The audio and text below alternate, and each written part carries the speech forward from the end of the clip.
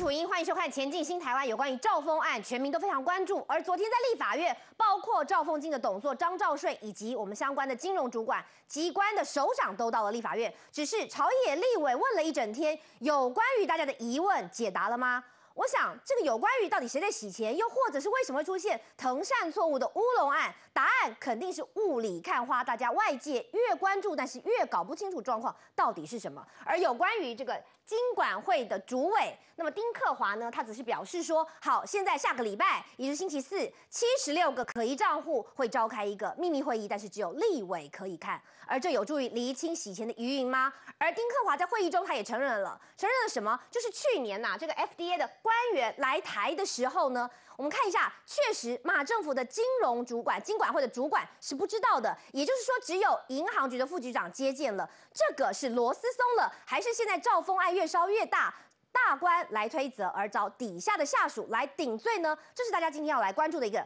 另外就是整个曾明宗。他昨天除了质询相关的金融主管之外，他还跑到监察院去。大家认为这是告御状，是担心这个赵峰案太政治化操作，所以说他要为自己洗清清白，还是他要先发制人，拿监察权来对抗行政权的调查？今天带大家一起好好来还原昨天在立法院当中所谓的。曾立伟如何来追究自己过去曾主委的表现呢？而另外就是英权政府现在在处理所谓赵峰案的危机处理，可以说是龟逃莫雷修。但是内阁阁员是不是还搞不清楚状况，不断的出状况呢？包括冯世宽在国会里面给自己打了一百分，就被这个国民党委员批评说你根本是自我感觉良好。现在的国军可以称上一百分，或是你是一百分吗？另外现在内政部竟然也上了媒体的头版。我想大家都在查，那么就是说，真的这个像这个内政部的次长花敬群所讲的，未来老屋要买卖必须先附上安检证明吗？此话一出，当然为房市投下了震撼弹。但是今天内政部长叶俊荣立刻回应说，这个决策还没有成熟，行政院也出来讲还在讨论阶段。那么这是自己打脸了自己的政策吗？我们知道英权政府到现在上任四个多月，脚步都还没有站稳，但是内阁阁员不断出包。如果说现在只换了一个发言人，真的能够止血吗？今今天带大家好好一起来关注。开始之前呢，我们先来介绍一下今天的与会来宾。第一位要欢迎的是国会观察基金会董事长姚立明老师。大家午安。欢迎民进党立法委员陈廷飞。大家好。欢迎资深媒体人周宇蔻。大家好。欢迎台大哲台大哲学系教授林火旺老师。主持人大家好。欢迎资深媒体人李游龙。大家好。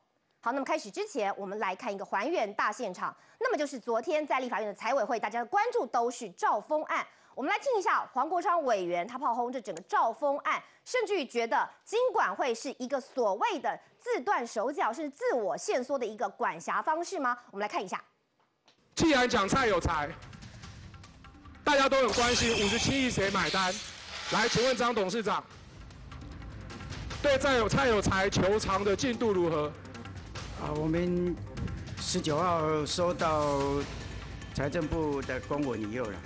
那我们现在请律师啊，希望说礼拜五的董事会通过以后，就可以对他提出这个民事求偿。八月十九号这件事情到现在，我好几次，不管是经管会还是财政部，到我办公室来，我都跟你们讲，五十七亿不可能让纳税人买单。你们一而再、再而三的这样子拖延，到今天我只问简单的一件事：假扣押做了没有？呃，因为要诉讼提出以后才可以执行。谁告诉你要诉讼提出才可以假扣押？在本案诉讼提提起以前，为了保全债权，不能假扣押吗？张董事长，呃，这个不，我们是跟律师研究的结果，律师认为这样子比较好。哪一个律师告诉你说提本案诉讼以后再来假扣押比较好？到时候破产是你要负责，还是那个律师要负责？哪一个律师这样讲的？呃，我是根据我们法务单位。我现在郑重的劝告你哦，不管哪一个律师跟你讲这样子的话，财政部绝对不要委任那个赵峰，绝对不要委任那个律师去打这个官司。你讲那什么笑话？保全债权是最重要的事情呢。赵峰对于追回这五十七亿有没有信心？呃，有没有信心？这是一个官司的问题啊。对对，当然嘛，当然嘛。如果到时候因为你们的消极不作为，该负责任的人脱产全部都脱完了，这是谁要承担的责任？你要告诉所有的股东、所有的纳税人讲说，对不起，我们已经尽力了，我们已经竭尽所能在做了，是我们的律师告诉我们，先不用进行假扣押，所以到时候扣不到财产，执行不到。对不起，我们尽力了，大家倒霉，五十七亿全体纳税人买单。你的意思是这样吗？呃，不是的，我们在呃上个礼拜呢，其实在放假之前呢，那财政部曾经邀请赵峰，还有我知道了，你们开了 N 次会嘛？对，你你们开了 N 次会，怎么样提告？哎，二零一零年到二零一二年，巴拿马分行出事的时候，金管会以及赵峰追究过哪些人的责任？这样子啦，那个我们这边是因为呃，诸位，我要 make the point，你还听不懂吗？我知道，老老早就存存在的事情呢。是，然后那个时候没有财阀，也没有追究责任，所以那个时候是怎么样？想说这件事情大家善了，私下搓一搓就没事了。后果是什么？后果就是今年被罚了五十七亿。丁主委，金管会有没有责任？赵峰当时的人员，当时有没有责任？呃，我们这边呃，我看到我们的书面资料哈，就是说在一百年以后，金管会他有呃两次函请总行督导他去改善。对啊，对，你就发个信嘛啊，说请你改善，然后没有裁罚，也没有追究任何的责任。我现在只问你啊，当初金管会这样子的作为，跟今年你们金管会这样子的作为，你觉得当年金管会这样子的作为妥当吗？足够吗？那时候我还没去了，所以我不晓得 那个状况。好，我们来看一下，大家其实都在关注。那么接下来的下一步，昨天的质询，其实大家都用比较大的篇幅来报道，包括自由时报说这个赵峰案的七十六个可疑账户，下个礼拜四要跟立委公布。联合报也说呢，七十六个账户立委名单只给立委秘密看。那么是不是涉及洗钱啦？那么是不是有本国人等等？那么这些都不能公开。所以一百七十四笔到底会到哪边去？怎么样的交易，恐怕只有立委知道。其实姚老师，我们来看哦，在大家高度关注之下，其实大家很想知道的是，到底谁洗钱？有没有协助洗钱等等这些部分，呃，接下来能有更清楚的答案吗？我觉得昨天的官员回答之所以惹出来那么多的愤怒啊，是因为回答官员的层次帮包括张兆顺，嗯，包括丁克华，这个层次啊，回答问题，各位要晓得，是国会殿堂哎，像昨天今天有些媒体就报道说，哎，我们不能随便。跟国会报告什么事情？我们随便有些资料不能讲，会惹怒巴拿马当局或者美国 DFS，这种胡说八道到这种地步，哎，中华民国或者美国美国这种民主国家非常清楚什么叫做国会至上，什么叫国会监督，哎，美国有任何一个机关可以基于机密的理由不跟国会报告吗？嗯，即比是最机密、最机密的国安。情报，当他到国会的情报机关委员会去报告的时候，不管多机密，他向国会报告，没有人说我不能向国会报告，嗯，因为我要保守机密，可笑到了极点。这是中华民国最重要的监督 system，你怎么可以用这样子来回答呢？昨天又回答了刚才黄国昌讲的五十七亿，你不觉得？昨天我记得左边坐的是赵豪。就是民进党的委员哈，黄国昌，我几个的黄国昌昨天也在场，听到他这样笑出来了。嗯，偏偏张兆顺又不去打听一下黄国昌，大家都是学法律，我也学法律，呃，赵豪也是吧？黄国昌教的是什么？你知道不知道？教的是民事诉讼法。专门就教假扣押的程序，加的是起诉以后假扣押还怎么保全债权。你 你难怪黄对方一打黄国章脑袋里不要思考就胡说八道。嗯，不要委任这个律师。对呀，你不要委任这个律师，你还说跟法务跟律师商量过，你怎么胆敢在国会殿堂庆庆菜菜供啊？嗯，没有经过大脑哎，你是董事长，而且你要对国会负责。所以我昨天跟国昌兄特别提一个概念，我也顺便在这里跟委员提一下，说他说他已经他们那个党团已经要提了，我们在司法院所有的陈述会有伪证罪七年有期徒刑的，以下有期徒刑的指责，可是我们在立法院没有，立法院说谎，嗯，是可以混过去的。行政官员到法院讲话一定要讲诚实话，他宁愿说我不知道，嗯。嗯。可是立法院随便讲，今天讲谎，明天就改都没关系。是所以，所以要学美国的国会，跟德国的国会一样，要定下那个藐视国会条文，不说话的人要移送法办处徒刑的。嗯，被证实是没有，因为同样是院级，一个司法院，一个立法院，同样的地位啊，确实没有说法院特别大呀。所以，好了。那更更妙，那个律师他居然用律师有隐私、保护个人隐私为理由，说我不能讲。美国当时那个为纽约分行的律师，他不能讲。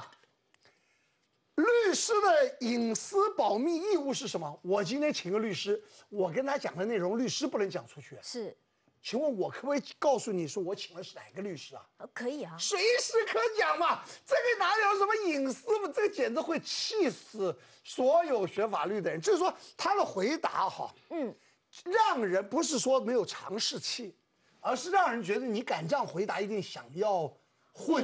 掩盖什么？掩盖什么嘛？所以你看，你看昨天那个回答，那个那个那一个对话，是。各位看一下那个对话多一模一样哎，好像稿子是抄给两个人，这两个还是不同政党哎，一个是现任的人，今晚会主委丁克华，嗯，一个是以前的主委叫做曾明忠，你看他的话一模一样，由银行局副局长接见，去年吧，嗯，哎 Fed 来的，然后最后签到局局长，没有知会主委、副主委，没提赵峰案。你看他，你看当时的曾曾明忠讲的，由银行局副局长接见，当时没有谈赵峰案，本人不知道。你看这根本就抄稿子嘛。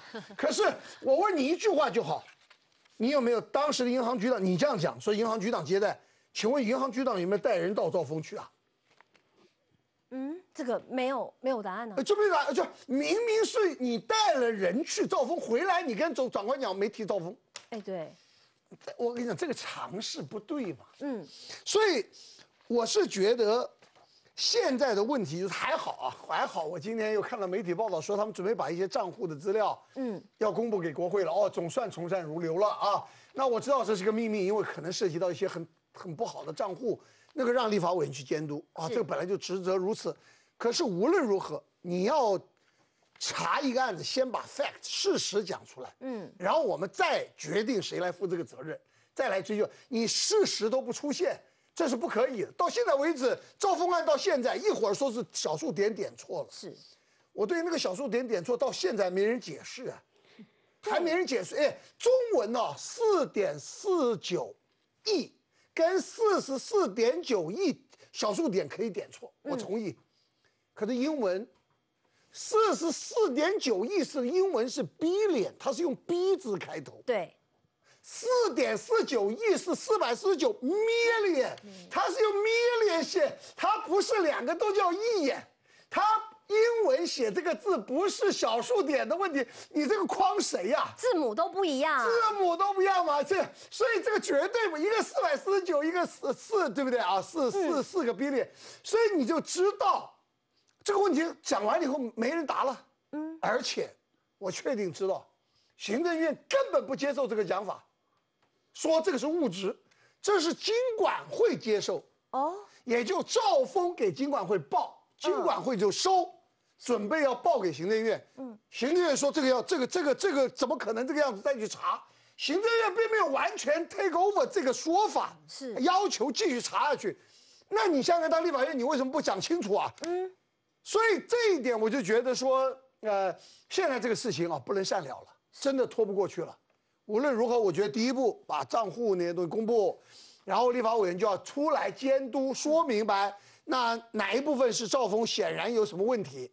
我再讲一遍，中华民国有资格监督总行，就如同 DFS 可以监督纽约分行一样，是没有任何的拦阻，在法律上没有任何拦阻。不要用说美国 DFS 已经查了，所以我们不能再如何，这个简直是有侮辱国权的。好，所以说在姚老师的这个说明之下，会觉得为什么昨天我以下这么样轩然大波？等一下让这个呃陈金杯委员回应之前，我先来问一下寇姐。所以说在这个呃姚老师所提出的疑点，我们就会发现，难道说现在变成是现在的立委跟这个官员啊、其实两边是串好的，甚至于是让大家不想要看出真正的真相吗？是有这种感觉跟。昨天在立法院很明显的是，国民党籍的立委哈是跟啊赵峰哈内部跟经管会相当的内部的人员是其实是串好的啊，那个嗯完全没有嗯针对这个案件所发生的那段时间里面应该有的官员所负的责任来进行哈一针见血或者是啊这个啊真相。啊，探索的这个执询，反而在张兆顺的这个角色上面，在那边打啊烟雾战，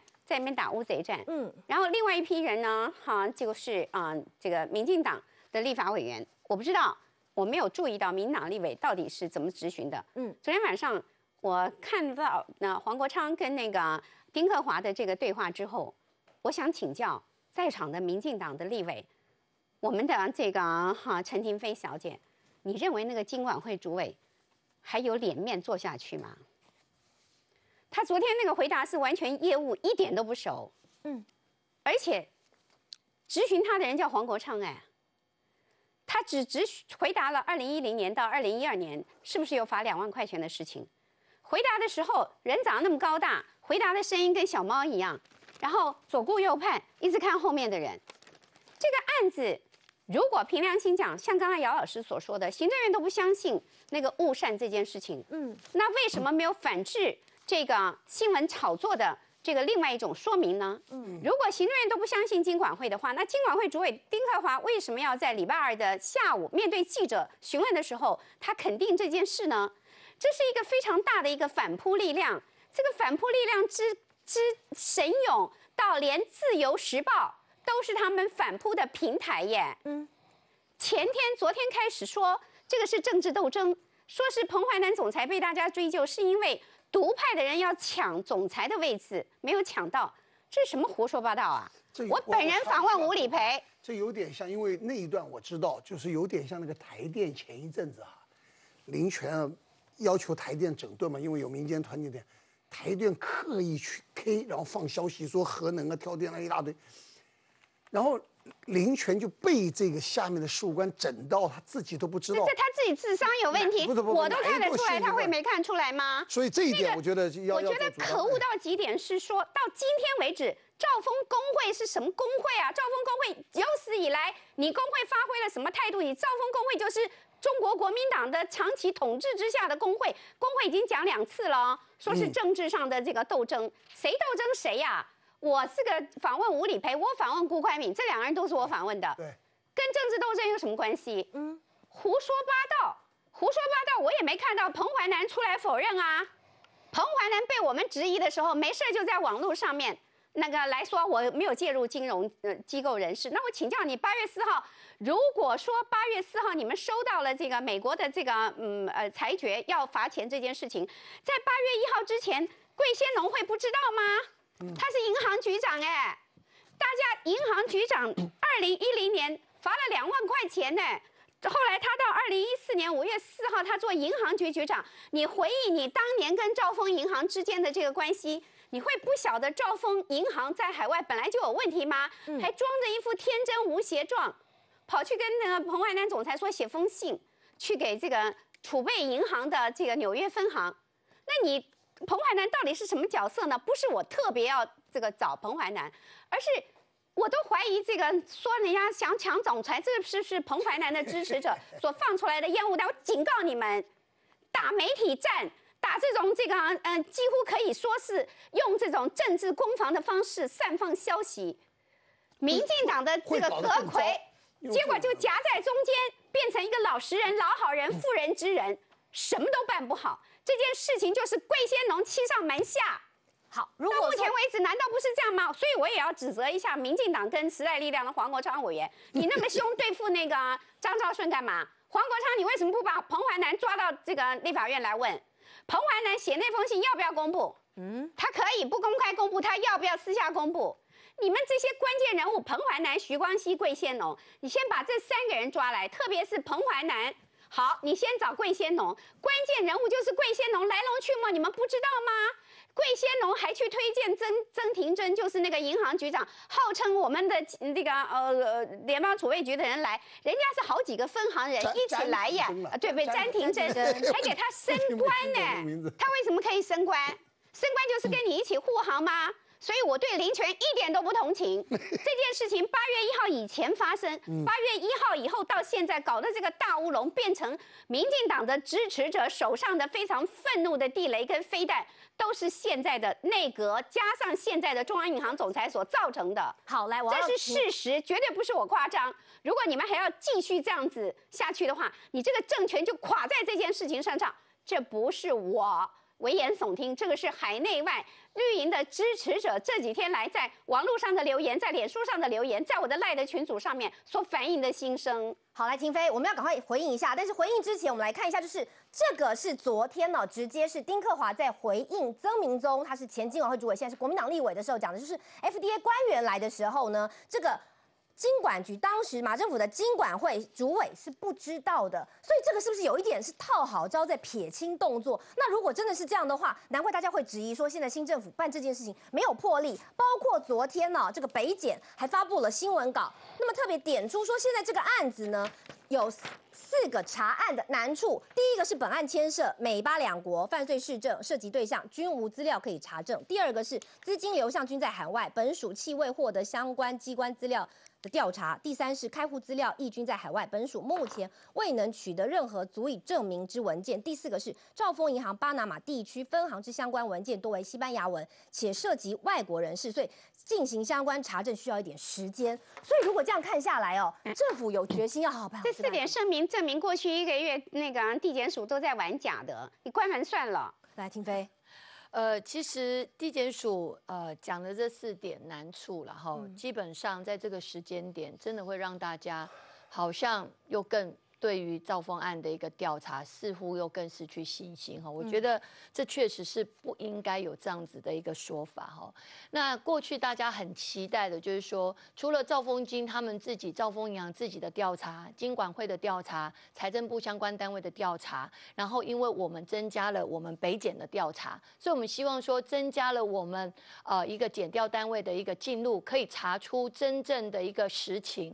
可是如果今天呃北检讲了这，这四大难处似乎又把我们浇了冷水，说那是不是什么都没有？那如果再加上说昨天呃我们相关单位在立法院的一个答询，确实又更大家雾里看花，到底什么是真的，什么是假的？嗯，所以其实我一直还是一样呃希望我们的政府哈，因为八月一号你既然你经管会说，我八月一号才知道这个事情，好，那八月一号以后。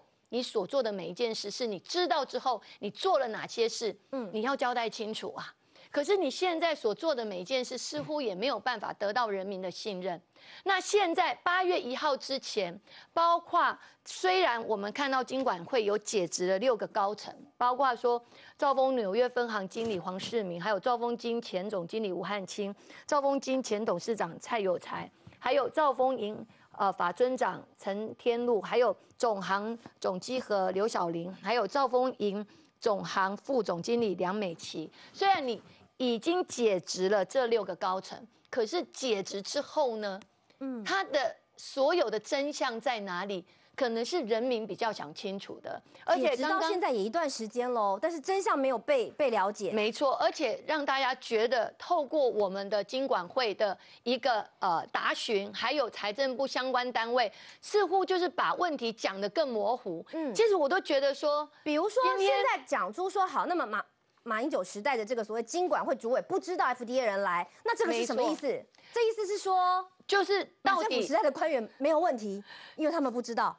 不是不是马政府的时代没有问题，而是说今天是谁在一手遮天，是谁把这整个过程都掩盖住了？嗯，那当然你曾明忠都不知道吗？其实我这里有一份就是曾明忠的一个告发书跟监察院的告发书。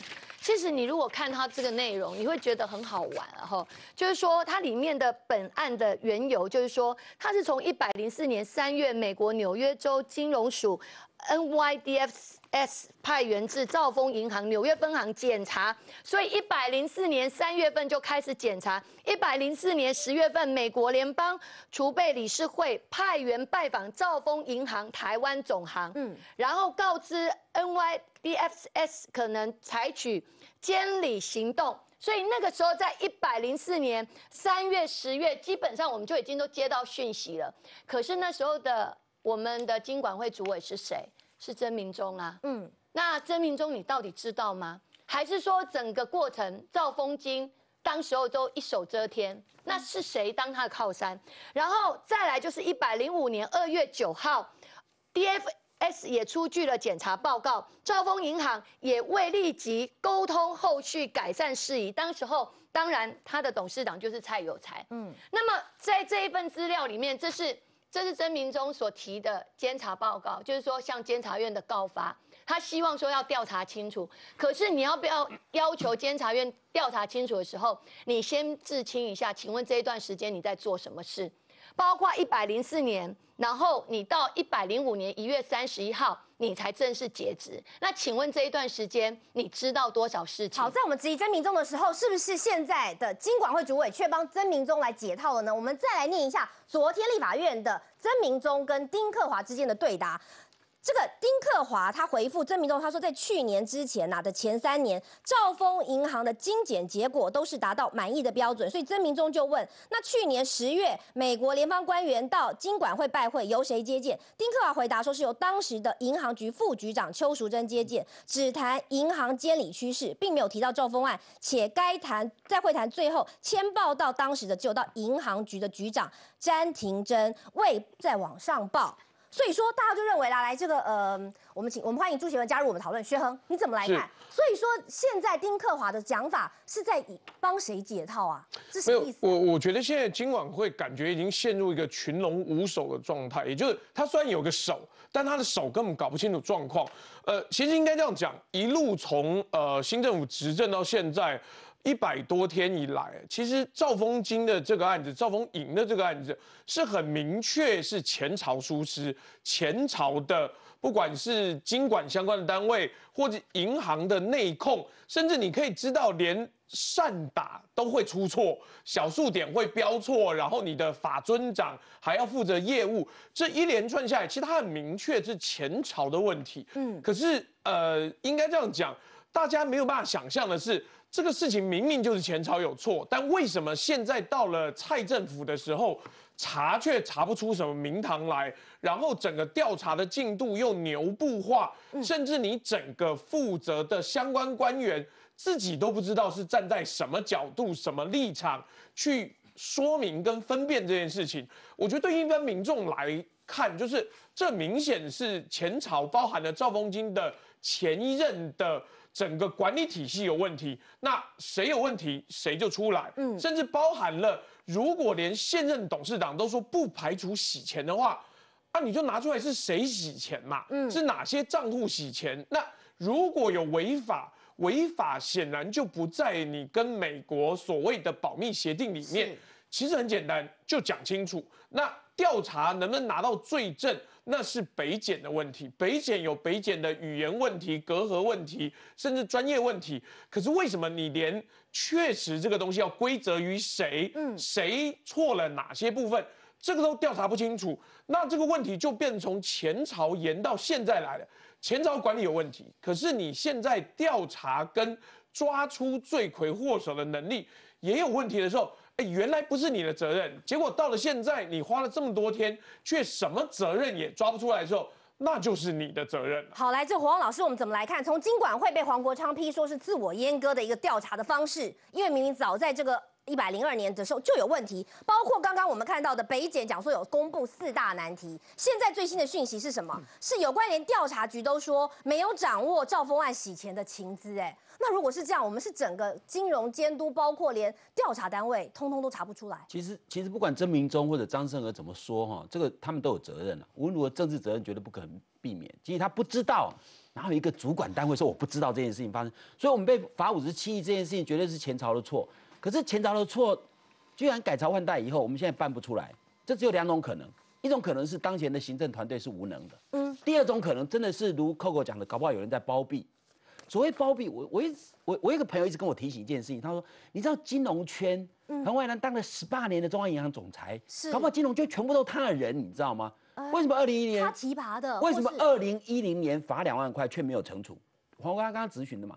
为什么在纽约分行出了事，该申报未申报，居然不理美国的 A D D D F S？为什么？我我说这个谁在那么大胆？也就是说，当然我们有惩处人呐、那其实还是因为媒体一直骂才惩处的。所以我说，为什么该申报未申报却没有惩处？是或或事后如果不是媒体这样批，也不会惩处，好像就把它抽过去，就要那个林权就叫叫那个彭文兰去写个信，然后降低那个这个罚款，好像这样就结束了，你知道吗？如果媒体是没有在追这件事情的结果，搞不好就是这样，搞不好结果就是哎。我们就降低罚款，好像还有功劳一件。我记得当时降低罚款的时候，还讲的一副哇，那个彭文兰很有功劳一样。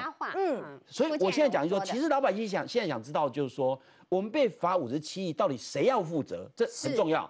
第二个，到底有没有洗钱？这也很重要。嗯嗯，那如果你没有能力查出来，可能就是是包庇嘛。那包庇可能是，如如果以前也常常讲的，我的朋友认为说，其实现在金融圈根本就没有蓝绿之分，金融圈根本就有一个帮，你知道吗？那包括他质疑一件事情，说彭淮南有没有要八大行库嗯投资台湾行动支付，使得在研发这块这块板的人几乎都没有市场可言。是而而且业者认为说，台湾行动支付的安全度非常有问题，所以他认为说，会不会这件事情联想到兆丰，就觉得说，彭淮南事实上是罩住了整个金融圈，那会不会是这样？那我觉得周玉蔻怀疑是有道理的、啊，彭淮南出来讲话嘛，如果你没有，你出来讲话嘛，你有没有？要八大行股投资台湾台湾行动组有没有？你讲清楚嘛？那为什么没有惩处？为什么二零一二年罚款，然后没有惩处就算了？为什么该申报未申报还敢那么大胆的跟美国人美国人讲说这个我不要不要跟对你负责？为什么敢做到这种地步？然后美国人才生气罚了那么多钱？其实美国在的报告里面只写说疑似洗钱，还没想到洗钱哦。就是因为你的所有怀疑洗钱的东西，你没有去申报嘛？是那为什么敢那么大胆？我搞不懂这是。为什么昨天为什么为什么彭淮南可以不要去这个就像立法院，然后立法院的财政委员会也也之间根本接受了。金融帮不分蓝绿，其实就是一挂人在这边，而外人没有办法接触，真的是这样，所以新政府也查不出来嘛。广告回来更多讨论。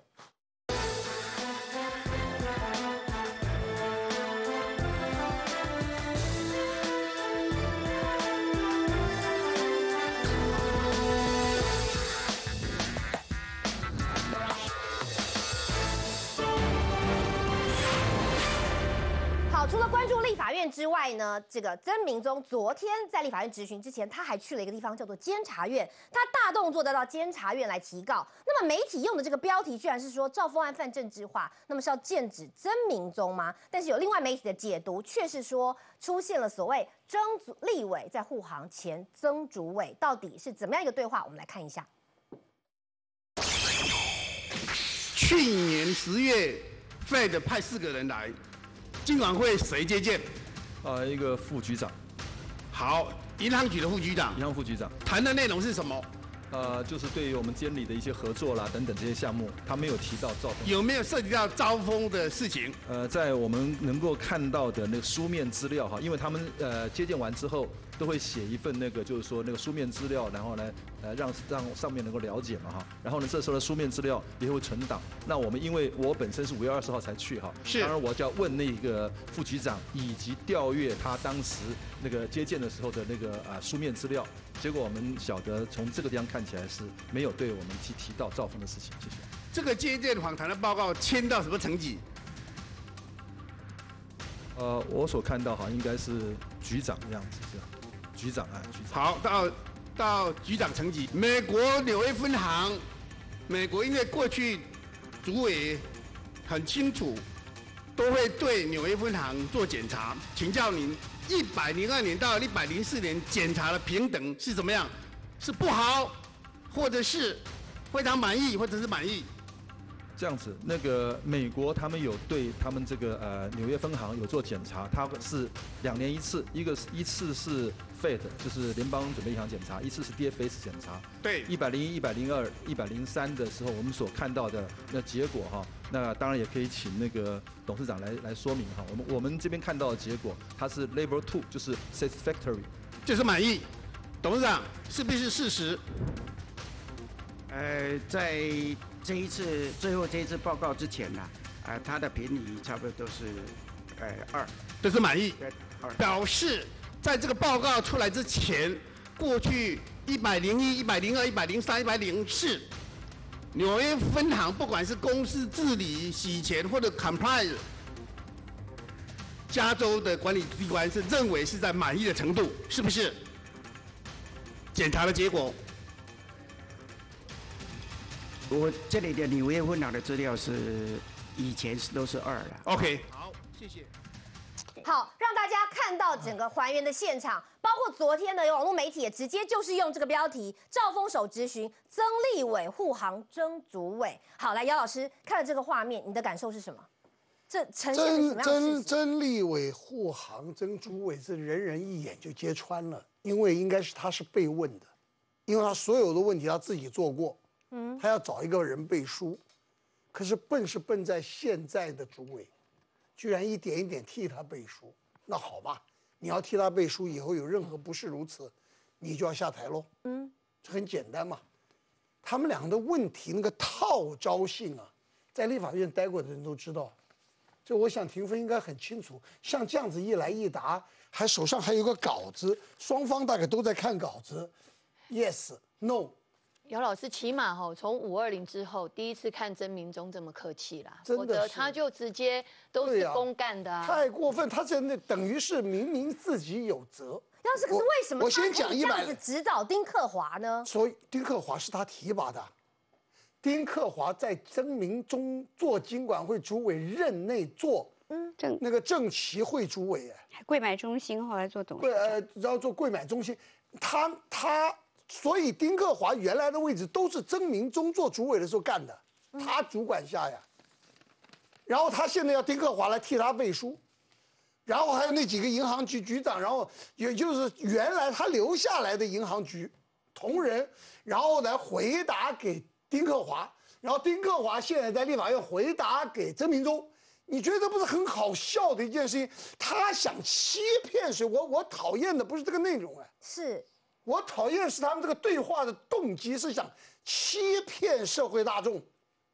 我这一戳就破了嘛。对呀假设很满意，为什么被罚五十七亿呢？不是不是这个，我先讲这个啊，我先讲这个一零四、一零二、一零三、一零四，他想证明说赵峰都是 good，满意了啊二，他认内不是赵峰都 good，是好一的非常满意，不好，那都是二。那我告诉你，巴拿马被处罚是啊一零一、一零二，嗯，那为什么美国还给满意？理由很简单，因为赵峰没有告诉美国嘛。妈，所以这个这样子骗还想骗得过去吗？说美国给玩语文字游戏，哎，就是美国满意，但是然后你看美国现美国一零四一零五做了这个以后，马上一零五那个平等就变成不满意。三，这么简单一个逻辑很容易被揭穿的，他把我们都当做没读过书哎，听不懂外国人对我们的互动，人家是很公正的，然后你居然想用这种回答来证明你很棒，嗯，或者你没犯错，你有监督，这不是缘木求鱼吗？金管会当时在一零一、一零二巴拿马罚钱以后，没有任何的监管，是所以发生纽约分行被 DFS 再罚一次，巴拿马罚两万以后再被罚一次，这个经管会会没责任吗？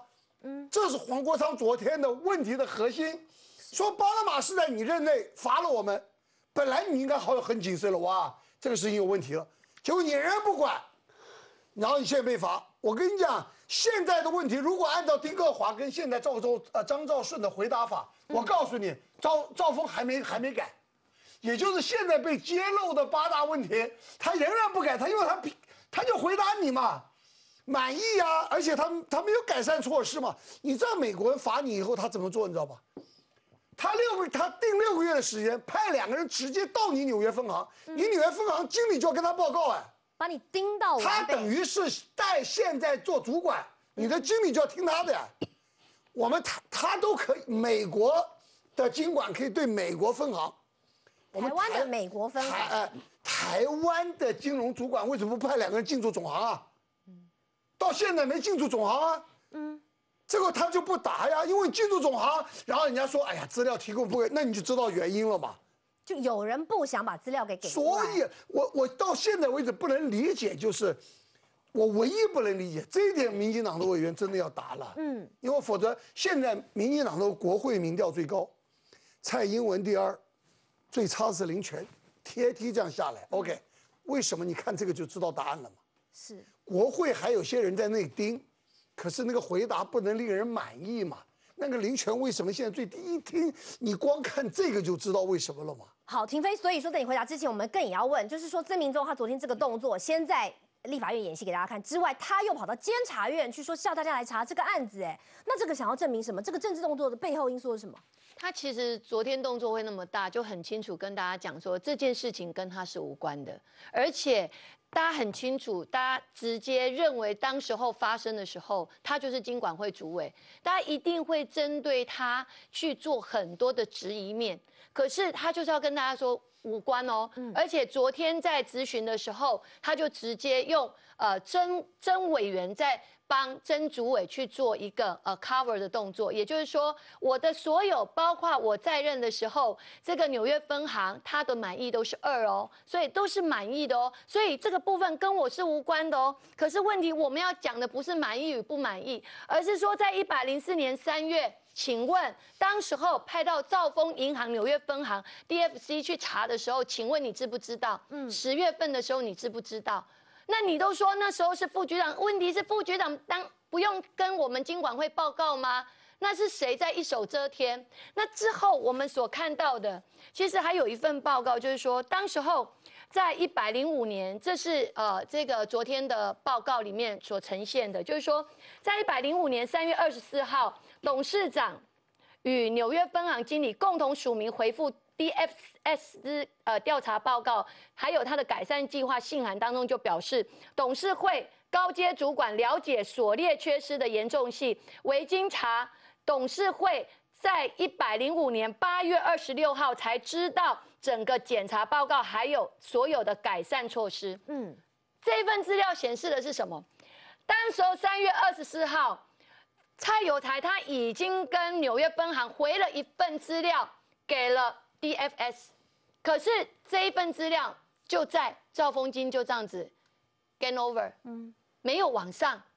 到了最后八月二十六号的时候，才发现说，当时候居然有回了这一张文，我们都不知道。所以我们要说，到底是谁给蔡有才那么大的权利，嗯，给赵丰金那么大的权利，自己去做这样的处理？那你处理好还没有问题哦，可是你把所有的。案子是越搞越糟，人家跟你提醒的你都不理，然后你也不理不睬的态度，然后呢，最后是我们要被罚五十七亿。那请问，这就像你讲的嘛？我跟你讲的委员，包括政院，包括现在，包括刚刚几位来宾。陈委员，这个我尊重你发言的方向，但是你们民进党的立法委员也不要这样转移焦点，把它弄到曾明宗身上。我没有。八月一号以后到底发生了什么事嘛？对。为什么昨天财政委员会彭淮南可以不出席？财政委员会你们的民进党有几个委员啊？有几个像样的委员？徐国勇已经走了，剩下的委员你懂财政吗？吴炳瑞上节目公然这个连彭淮南写封信给这个。美国储备银行的分行的事他都不知道，搞什么名堂？黄国昌不是质疑了吗？他说你们有私了啊？那我请教你，八月一号。金管会从赵峰知道这件事情之后，是谁在私了吗？你们为什么不把这些人抓来问呢？绝对为什么不还原八月一号到八月四号发生什么事？所以 Coco 姐讲的这是重点，就是因为民进党立委被国民党的财政委员会的委员耍的团团转，牵着鼻子走，就这么简单呢？没有所谓牵着鼻子走了哈。其实刚刚 Coco 姐所说的，也是我们现在要的真相。那为什么不去查？八月一号，所以我们现在要求你所有经管会跟财政部要查清。楚，嗯，昨天包括金管会的丁主委，还有财政部的回答，还有兆丰的董事长的回答，我相信我们都没办法接受。包括当时候所谓的误职误善这个部分，我相信在我们的群组，我们直接就问了，这个谁能够接受啊？嗯。只有你经管会可以接受，我觉得唯一的方法就是唯一的方法是你要示意我，你们明天总咨询，你把行政院长放在中间，桂先农、丁克华、彭淮南、徐光熙这些家伙，你们还原八月一号到八月四号发生了什么事？你们大家可以隔离咨询，这个这些家伙瞒天过海，好，是不是就是胆大妄为。或者是这个黄老师讲的，游龙有一个所谓的金融帮不分蓝绿，现在是包括连政院，包括朝委的委员，其实大家都完全不知道八月一号或者说这件事情不是发生到朝野委员、现在在野委员知道发生什么事了，在哦骗国民党的委员，他们当然哎结果是反而是民进党财政委员会的国民党委员是我觉得谁呀？资没有深的不得了耶！我觉得 Coco 姐这样讲了之后啊，大家就真的会觉得是一大群人在包庇，因为太明显了。我们我们大家仔细去看这件事情啊，如果曾明忠现在他到监察院，然后他在刚刚咨询到一一个荒唐的内容，他的最主要目标就是告诉大家我没有责任，嗯，我在金管会的任内是我就没有责任的。如果现在的金管会主委也认为，也按照他的剧本回答了，那就大家都没有责任。那没有责任的情况之下，就回到了这个赵丰金，这就是一个行政疏失啊，解决了，写错了所有事情对就解决了，这不是很好吗？这是不是大家要的？当然不是嘛。那那请问，刚刚委员也在讲说，哦，这一定要查，一定要查。经管会的主委现在是谁啊？绿营啊。所有的职，所有的人，你只要认为不对的，姚老师说这是曾明忠提拔的、啊，对，所以嘛，所以就 Coco 姐就说的就对了嘛，所以你要就是一群人在包庇嘛你为什么要问前所有的人都在那边包庇嘛，然后大家就各自演戏，演演给全国人看。嗯，我 Coco 姐讲的一个非常清楚的一个一个概念，我觉得大家就就只要想这个就可以了。八月一号到现在快九月底了，以前你不知道，我算了啦。嗯，八月一号开始你知道了吧？嗯，你也认为弊端一大堆，政论节目上面也讲了一大堆，都是前朝的错。你查了快两个月了，没有消息，然后好不容易快两个月的时候，你上来回答，回答的东西居然是荒腔走板，说哎他说的没错，他说的都哎我他前朝应该不知道。嗯，那那我要你调查什么东西呢？然后立委现在很生气说，我们当然不满意，不满意不是一个一个一个解决问题的方法。你除了加查，你你现在你执政嘛，嗯，你应该要说，现在经我我我在经管会当初那个做法是不对的，是对不对？或者哪边有问题，你怎么会附和呢？说啊，确实是没有问题，我们都是第二级，good，我们非常好。当你非常好，那那你要人家讲什么？所以我觉得整个事情荒腔走板，我不知道大家是不是在搓原子，一直搓到最后啊，整个包庇的金融圈，大家有没有发现，这个人调过来，那个人调过去，永远都是这些人在做。是然后呢，讲来讲去都是长官部署的关系，那谁要得罪谁啊？嗯，最好的解决方法就是行政疏失嘛。所以怎么调查，最后都是行政疏失啊。最后就是那个没有写错的那个打字小姐 哈，要关到监牢去。这到底有没有这个打字小姐？其实我们还不知道哎，她连打字小姐都没有交出来哦。那么现在呢，我们来看一下另外一篇文章怎么说。他的观察在昨天的立法院质询的时候，他的观察是说什么？他说赵方案全民买单，但是六十八席的立委是不是无人能监督？是不是在这个金融方面不够？包括他说昨天的现场是这样哦，蓝委步骤整齐，战略清楚。好，什么样的战略？蓝营几位？财政委员会的老鸟步伐整齐，战略很清楚。他们诉求就是三个，那么就是呢，打赵峰案不是洗钱，不是弊案。赵峰案是绿营政治操作下的结果，以及猛打赵峰金董事长张兆顺的适任资格。那么他们是由炮手，当然就是曾明忠，我们看到那个现场由他来先发。但是呢，反观绿营，媒体怎么形容？媒体呢说这个绿营啊，原本呢就是财经人乏。财经人才缺乏，所以撑不起来赵峰案。徐国勇要去当发言人，所以递补进来的刚好是一位牙医生，所以这整个案子寇姐还真的是撑不起来啊。我觉得他真的是匪夷所思、荒腔走板。我跟你讲，我想请教林权院长跟蔡英文总统，你们再忙，你们把昨天发生的事情看一遍吧。你不会想哭吗？你们好意思面对台湾的选民吗？昨天财政委员会黄国昌回避了关键之所在。他打的就是金管会前任的主委有没有犯错？嗯，然后人家呢，人家的财政委员会那些资深的老鸟，非常非常有计划的、深入的，然后各个点的急急迫，弄到一个张兆顺在那边发脾气。张兆顺不止在立法院里面没有办法迎战这些资深的蓝营的立委，他回到兆丰金控的时候，兆丰金有几个人帮他当董事长看呐？结果到了昨天晚间，北检还发了一个四大困难。嗯，不是我说啦，我要同情现在的林权内阁，我都找不到同情的支柱。哎，我奉劝民进党的委员，你们不要去先打真民众，先把你们自己的脚步齐发。你们自己到底在忌讳什么？你们为什么对八月一号到八月四号发生的事情不告诉我们？我请教你，八月一号八到八月四号私了，八月一号到八月十九号公布之前，你们为什么不做内部调查？你们吃案呢？为什么没有人去举发吃案？你们再不咨询，我就到监察院、到调查局去这个检检举你们，包括彭淮南、包括林权、包括徐万熙、包括那个呃那个啊、这个桂先农跟丁鹤华吃案，这个根本就是吃案。如果你们八月一号到八月十八号，你们明明知道已经写信啦，事态很严重啦，你写信事态很严重，要求他降低罚则，那你们内部为什么不进行调查？是扣扣啊。理由说是为了金融案件，你是在骗老百姓。民进党的委委员还接受吗？高检署专案小组就有调查局。昨天不是说四个四个困难吗？四个困难不能查，谁高在吃案吗？高检署的专案小组就有调查局，所以其实全部横泄一气。嗯，我再讲一遍，有些人就要移转焦点。费鸿泰居然用质询的口气问说：“这个是一个政治操作，嗯，要扣曾明忠啊等等帽子。”那解释上有没有没有洗钱了？话锋一转，其实蔡英洲、蔡英，呃，蔡英洋反蔡英阳、蔡英阳有洗钱的嫌疑。你到底说真的假的？你自己听听看你的逻辑，好吧？这是一个很严重的洗钱你就攻防啊朝洗钱去咨询，所以你先说是政治操作，你们是要用这个案子来扣前朝，是那就表示没有洗钱嘛？那你为什么又说这个这民进党有洗钱？我求求你们不要乱争，好不好？嗯，你们在立法院的人稍微有一加一等于二的逻辑观念。我们希望，因为赵峰案不是我们挑的，台湾没人挑，是，巴拿马完了以后，你还是不改善，就被美国硬生生的找出问题。所以我公开挑战嘛，挑战民进党绿营的财政委员会委员嘛，黄国昌嘛，吴炳瑞，你够资深吧？他们婉如不懂吧哎？可婉这些人如比较等一下，我们不能把立法委员也整，因为他们很尽力在执行。没有姚伟你看，姚你看，姚姚教授你看国昌昨天骂成这个样子，国昌骂不到重点。怎么八月一会号到八月四号发生什么事？为什么不就把他已经把他那个护航的姿势给骂出来了吧？你要晓得，你要晓得每个人有个角度。那明天总咨如果我们询下礼拜，全你告面性的诉我们真，相，要不然我们罢免你们。我们全面性的这样干，我们就大不可能有人搞真相了。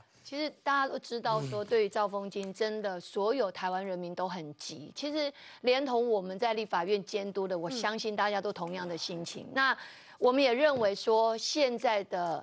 单位调查单位，不论是经管会，他们现在有成立小组嘛？那小组在每一个礼拜都有紧急会议。可是你紧急会议真的是要拿出一些实质的东西，而不是每一次拿出来就被打脸。你打久了，你真的会失去人民对你的信任。那之前从八月一号开始，那八月二十一号。我们也赶快请呃我们高检署，然后成立了一个专案小组，嗯，然后小组开始也针对了洗钱案，还有我们银行法，还有金融控股等等的法案法令，全部在做一个处理。那这个都一步一步在进行。那当然，昨天北检又说了四大的难处，那确实又好像又打来打去，所以我觉得步调真的要。同整啊、你步调没有同整，你会让大家在急的当中又听不到真正的答案跟事实。嗯大家会觉得说，那国民党现在似乎就是要赶快撇清他们自己的关系责任，就是不是洗钱，而且就是政治斗争。是然后呢，对政治操作，然后呢就是兆丰银行的董事长张兆顺，我现在就是要把责任全部压在你身上，然后。蔡有才扛了就这样一个算点，但是我们来看个最新讯息哦，巴拿马文件解密，全球政要名流再度心惶惶。就在这个同时，昨天国民党的立法委员在财政委员会完全动起来，所以说这个学恒，你怎么是来看这中间是不是有什么关联？那我觉得现在有一件事情比较麻烦的，就是啊，我想这些政要权贵啊，也不是白痴，所以赵光金能够拿到的资料，多半都已经是人头或是纸上公司啊。巴拿马文件之所以可怕，是因为它是从这个法律事务所内部流出来，它还来不及冠上人头，还来不及用纸商公司包装，所以他查到的是本来的名字、本来的人跟本来的公司。现在有一个问题是，赵丰银拿出来的巴马分行 或是固朗分行那些资料，那已经包装过了。换句话说，它里面叫这个某某猪肉公司，哎，他怎么知道背后是我呢？那所以现在有一个大的挑战是。巴拿马文件内部它是已经解密过了，所以你能够查到原始的那些人人是谁？对，可是赵丰盈的资料到目前为止，他都。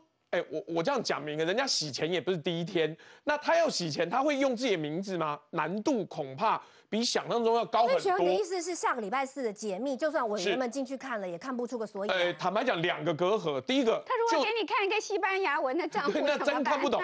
第一个，就算是我，好，你说邱学亨，你怎么知道这是谁？那更别提他可能用西文的拼音，譬如说 Sebastian 谁谁谁，那这个是一个难度了。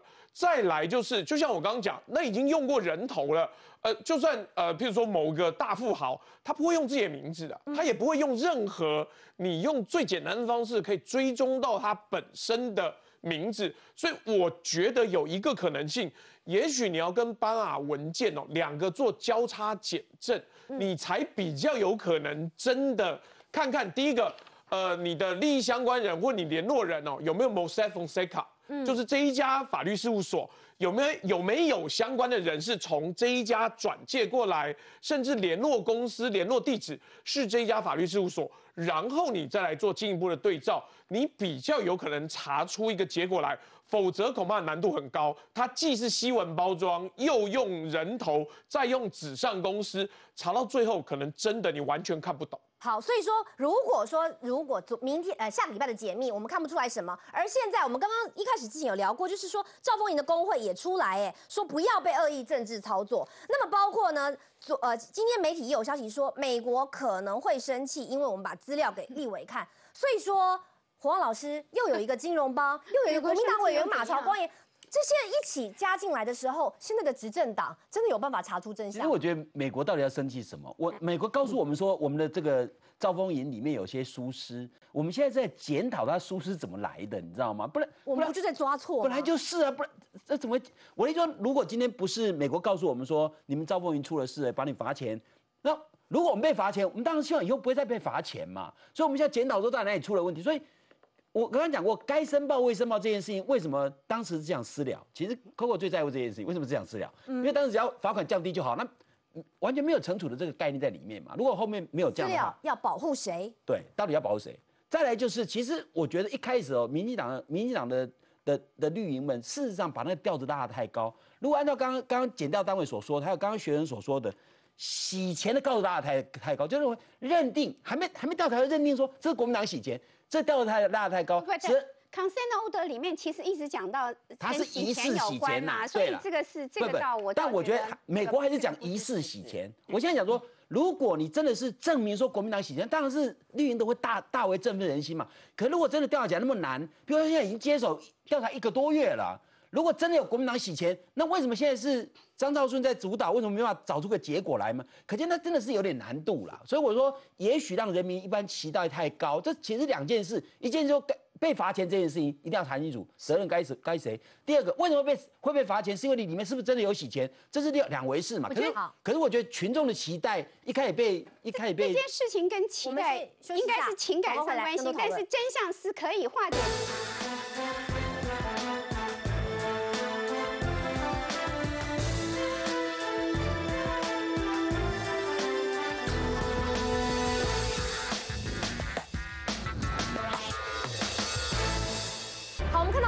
确实对于现在的英权政府造成在形象上面或者是在查案上面的一些形象上面的呃算是质疑吧。但是如果说在灭火的同时还有别的火烧起来，那可不得了。现在呢，内政部是不是决定说以后卖老房子要付这个所谓的老房子的安检呢？这对房市来讲确实是一大震撼弹。我们来看一下这则新闻。我们可以看到说，像这个是柱子，它整个是一个很完整哈，好都。都没有什么特别的一个损坏，那基本上它就是没有问题。观看房屋四周结构技师房屋内部鉴检，得先确认柱子、墙壁有没有裂缝，再来还得看结构是否方正。卓一地震周年，内政部抛出震撼弹，强调要强化建筑居住安全，将修法要求老屋买卖交易时要减负鉴检报告，初步选定六层楼以上集合住宅，超过于三十年以上的房屋办理。是有些麻烦，因为我的房子为什么要这样？对不对？我自己做主就好了啊，为什么还要这样子嘞？啊，这样子也是很麻烦的。政府的配套措施，真的我们自己市民的也不好了解的。劳务健检费用该由谁来出？民众也提出质疑。以新北市来说，目前现场勘查是免费，但进入内政出评就有限制。若不符合资料，得自付六到八千元费用；若是需要到内政详评，得要十五到七十六万，但补助却不得超过三十万元。我们要把它说清楚。怎么会所有的媒体都这样子报道？交易还是花个资讯？那我我建议并不是说怎么样把万市长请来。新政策的构想一出，不止立委炮轰，房仲认为老屋被判死刑外，台北市长柯文哲也认为有难度。而目前全台屋龄逾三十年的房屋约有三百六十八万户，逾四十年的老屋则是有一百四十六万户。如果老屋鉴检报告出炉，将对房价造成冲击，初步影响至少两成以上。内政部恐怕得做好配套措施，才不会引起更多反弹声浪。三立新闻和院长派台报道。好，这个消息是怎么来的？念一下这个消息来源，让大家知道一下。这是内政部的政务次长花敬群昨天出席一个避开九二一地震危险基因，让防灾都是真正。呃，真正的防灾啊，研讨会时他抛出说，呃，严拟一到两年后推动屋龄三十年以上的老屋买卖时需附上安检报告，来确保房屋交易安全。那么相关法条将纳入建筑法，预计今年会送交立法院来审议。这是昨天第一时间时候的说法。但是今天呢，在立法院，我们刚刚也看到了这个内政部长，那么这个叶俊荣他就讲说什么？他说啊，这个老屋建检是鼓励性质啦，所以政院现在态度是保留哦。所以现在是部长次。长不同调啊，哎，这个停飞这本得就不太好喽，就变成是呃部长打脸市长，这非常要不得，我必须这么说了哈。其实今天早上这个新闻一出来，大概我们的电话都接不停哈。为什么？大家都开始问，那是不是真的？嗯，因为他写的是非常确定，说今年要送立法院哦，要修改建筑法规，要又送立法院哦。如果是这样子的话，怎么可能连我们都不知道？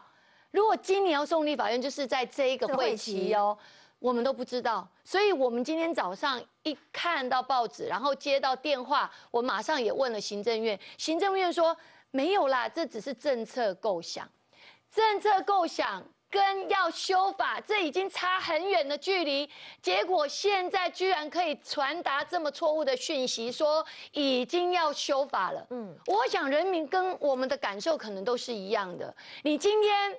为了安全，尤其昨天是九二一，那九二一大家对于九二一其实大家有很深很深的记忆。那包括呃零二零六台南的地震，这个也非常清楚。其实我们都心有余悸，对于地震安全的系数，我们应该怎么去做一个呃非常健全的保护？我们都非常清楚，可是当你要提出一个政策，它是必须是非常完整，而且非常成熟，甚至有配套，嗯，而不是用这样子说了就算。所以我们一直讲，政策如果有经过深思熟虑，而且经过充分讨论，有配套，而且让人民能够了解，它才是好的政策。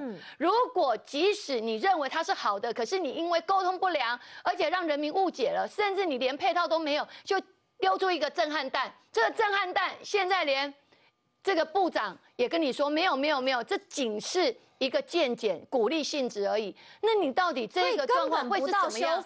完全没有。法院，这个是早上我大概八点多马上就问行政院了，就是报纸一出来，我马上问行政院，行政院非常清楚的回答说，这就是政策构想而已，单纯在政策构想。因为昨天是九二一，所以有曾经提出说，那怎么去做出这样的一个防止建检的一个稳稳实度？所以这都只是一个政策构想。好，来我们来看一下，包括今天那个呃，行政院也开了记者会，有这个现在的同呃发言人童振源他也讲了，他就说这个老屋买卖要渐减，政策还不成熟，所以我们来看到的是问黄老师，现在这个内阁出了什么样的问题啊？我我是觉得刚刚叶俊龙讲说这是鼓励性质，鼓励性质不用政府来做，老百姓自己都可以去想，你知道吗？老百姓如果觉得自己屋子会不安全，他自己去做啊，鼓励性质不是跟这个一样吗？变成这个怎么会变成一个政策？老老实讲啊，我觉得我们如果能够对老屋做鉴检呢，实在是个还不错的构想。但是，是一个很好的谁付钱？那这很重要啊，这谁付钱很重要。如果如果人民有住家的安全的这个，政府有保障我们住家安全的这个权利啊，那政府出钱，那老百姓一定愿意啊。你知道我讲意思吗？那如果不是的话，你要想看，其实台湾现在很多老屋，其实最需要关注的是，可能在一些很危险地带，譬如像断层带，嗯，譬如说你看。呃，昨天的报纸报道说，小林村整个埋村，对不对？红叶村差一点也埋村啊，所以类似那种我们老百姓最关键是那种类似那种危险聚落，政府应该花钱去做，不是让老百姓来做，因为你政府确实有照顾人民安全的责任嘛，所以像那种危险聚落，你该做这件事情。你现在讲的是你要老屋要交易哦，你讲的是一种房市买卖的问题，那不是老百姓最关心的首要东西。你应该说好，老屋如果有有危险性，在断层地带或者在危险聚落，政府花钱去让人民住的安全，那绝对是个好的政策啊。可是你现在是为了房屋交易才说老屋要建解，那我觉得这就很奇怪。所以我我会认为说。真的构想这样讲实在是不好啊！如果理论上让人民住家都很安全，这我们都同意啊。可如果政府愿意做，那老百姓绝对同意啊。所以，可是如果说要变成一个政策，要强制执行，那就变成是一个很大的问题。刚刚庭伟讲的非常好，一定要有配套的措施，否则这绝对是扰民。好，没错，包括这个，其实不只是国民党的委员立刻就跳出来说，这是恐怖分子在做制造争议之外呢，其实除了这个内政部严拟老屋要建检的争议之外，还有什么？就是昨天其实节目上我们讨论过了，就是冯世宽在立委评比说你自己自评几分，他说打了一百分，让立委脸上三条线，因为大家说你有虐狗啊、非弹误射啊，还有战车翻车，这样子你也可以打一百分，那是不是在自我感觉良好？所以学恒怎么来看现在的内阁的状况到底是什么？呃，也许冯世宽说的满分是一千分也说不定哦，我我觉得现在呃内阁面对的一个问题就是，呃，可是这些人都老资格，你知道，我我真的觉得很困惑，是外人真不明白怎么会这样。第一个满招损，谦受益。好，你冯世宽已经是老资格，你当兵当了那么久，后来还在民间工作过。什么时候你老板问你说，请你给自己评分，你可以讲一百分的？嗯，我这辈子没听人这样讲过，除非你真的活在平行世界。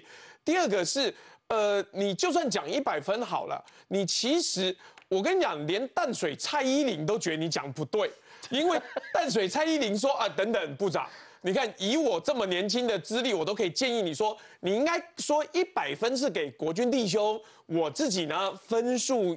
绝对没有到一百分，或是我不好自评。哎，是这这个很漂亮嘛？就是那那你想想看，你还要这么年轻立委来指证你？那冯世宽，你活这么多岁，到底怎么搞的？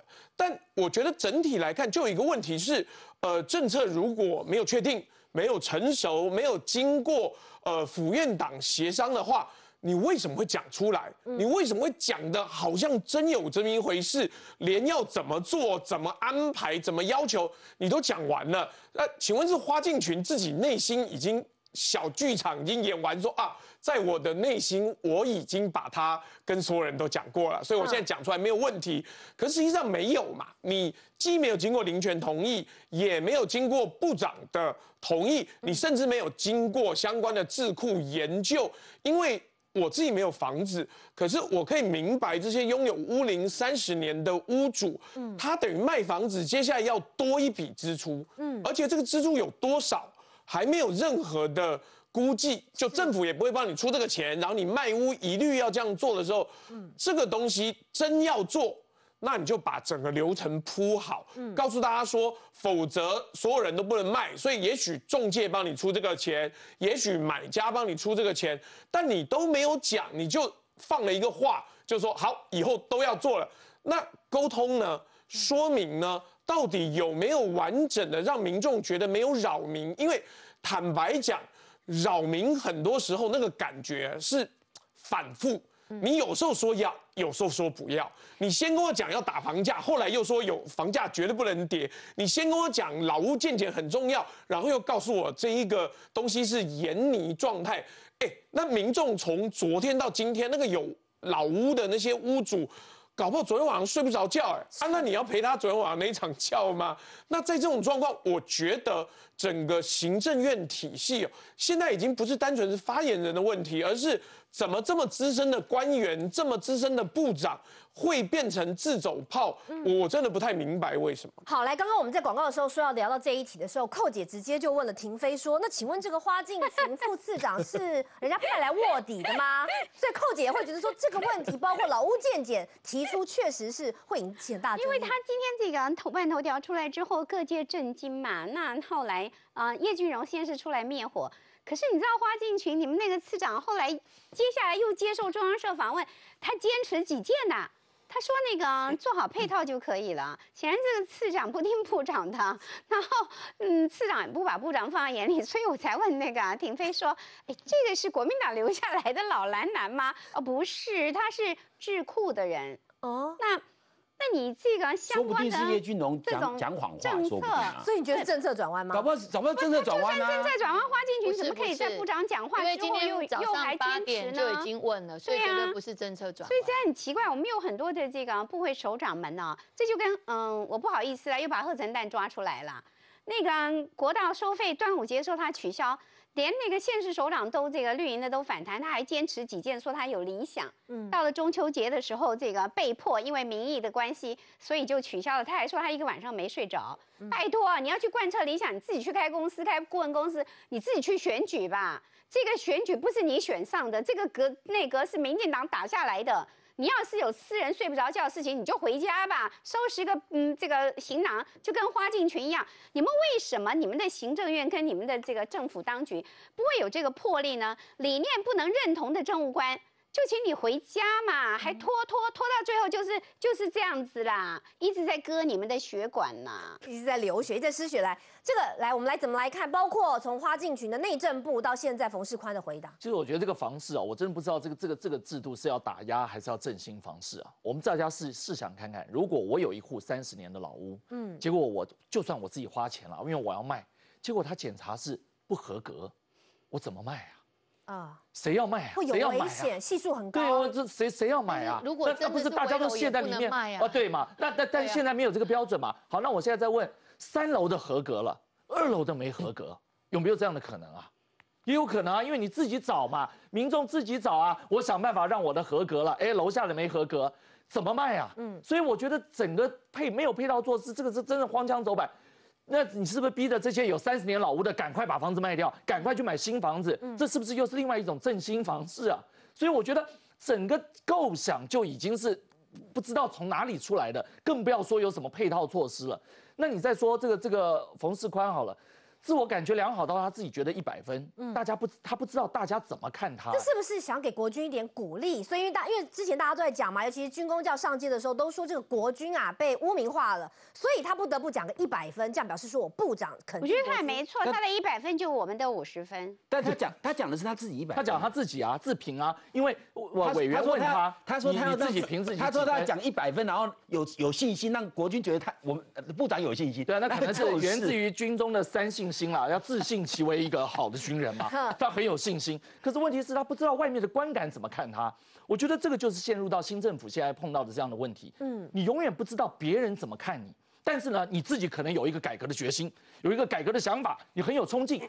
但是你做的时候，你你不要忘了，蔡英文也说了，他是一个最会沟通的政府，他要去倾听民意。今天很多人都希望改革，也希望往好的方向改革，但是不是说自我感觉良好的改革？我觉得这个东西要改，我就拼了命往往前冲，就搞得大家都不支持。所以我觉得在部会首长这上面啊，这个绿营政府确实碰到了很多这样的问题，把自己陷入到。自己放火，自己来灭火，这种困境啊，我觉得绿营真的要去思考一下，这些人是不是还还应该再用？好，来，所以停飞现在会变成是，如果说自己人讲出来的话跟政策你都不能接受，因为如果回到老屋的问题，当然就是像回到，因为您那时候台南也经历过这个地震嘛，所以大家当然会觉得说老屋推荐减绝对是好事，可是当初怎么会把它想要绑进是所谓买卖里面呢？这个部分哈，我们。真的不知道说我们的花市长他的一个想法了哈，那 确实你要把它绑进去到买卖，你一定要有配套，而且你必须让人民知道说谁要来花这一笔钱，嗯，因为你要建检，你要安检，安检的项目哪些我们都不知道，就是这样子一篇新闻出来，一个说法出来，然后安检要怎么安检，它的项目哪几项？因为你要安检。基本上是它的一个结构问题，还是它的这个那个所谓是不是海沙污的，或者等等很多样。那这些你你有几样的一个检查，你的花费就不同。嗯，那现在其实很多今天我们接到电话的，他就说，那我们为什么要卖房子？就是我们可能急需要用钱。嗯，那如果我要去做这些检查，那这些费用我要从哪边来拿？那如果说我没有做了这些检查，可能是不是房子就不能卖了？嗯，那他的经济是不是会更困窘？哦，这是今天早上我们听到一个说法，就表示因为我们可能没有解释的很清楚，而且配套也没有给人家丢出来，是，所以让大家有这么多的担心。嗯，那其实我都觉得说，其实政策。不论是什么样的状况，你没有解释清楚，让人民误解，它其实再好的政策，它还是会变成不好的政策。所以，我们都希望说，现在的所有的官员要拜托大家，一定要把自己的政策。一定要深思熟虑，沟通沟通再沟通，整个都沟通完了，确定它就是成熟的政策，你才能往外推，而不是今天先往外推，然后被丢石头了，然后被打了之后，然后再往外往内说，那个都不是真正行政人员应该所为的，所以我们还是要必须提醒。不论是哪一个政策，就算说这一次的一个老屋，嗯，还有过去的所谓呃周休二日的问题，还有呃假休这个七天假的问题，其实都是这样子。你没有解释清楚，劳动部被 K 了，你没有办法解释，然后一大堆哦莫名其妙的传言出来了，然后你现在又解释，你就必须花更多的力量。嗯，所以我们就觉得现在的政府，说真的啦。真的不是一个发言人的问题，而是你今天在各部会，你到底有谁能够扮演很好的一个沟通角色？嗯，这个沟通角色谁要来当？那你今天，呃，冯世宽其实他很想很想做，可是呢，他今天当被问的时候，他又他的其实他很简单的想法是说，我一定要有自信啊，那国军才会有自信啊。是，可是你今天你可能没有听清楚。那个委员所问你的话，所以你说人家问你说自评几分，嗯，你说自评一百分，一定会被变被变成话题来讨论。对，所以我觉得说在答询当中，真的要忍一下，听委员。对你问了什么问题，你再去做回答可能会比较好。像这种陷阱题目啊，老鸟就不会答，你知道吗？哎，我从来不给自己评分，要不然你就说我想考一百分就好啦。如如果人家问他说你信心多少，说一百分还可以。对啊。那人家问说你表现如何，可能没有听清楚那那个话。所以这个包括就是说他的立院询答的技巧 SOP 可能都要加强。其实我不觉得是询答技巧，因为冯世宽出了问题也不是只有这一次啊，包括他对小白，我认为是政治智慧了。我一直觉得说，其实民。进党的立法委员可能政治智慧是比较够的，因为他们经过从草根啊，然后打拼啊。可是这些政务官说真话，他们他们的政治智慧让我看起来有很多都有问题了。所以，我我一直我也一直劝徐国勇说去当官，哎，果然真是当官。因为我我觉得民党执政哈，这机会真的很难得。如果如果这次执政真的做的不好，那。